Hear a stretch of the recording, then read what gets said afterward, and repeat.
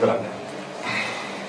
Domnul Dragnea este dintr-un serial atât de primitiv, încât uh, esența democrației îi scapă. Asta este problema cu domnul Dragnea.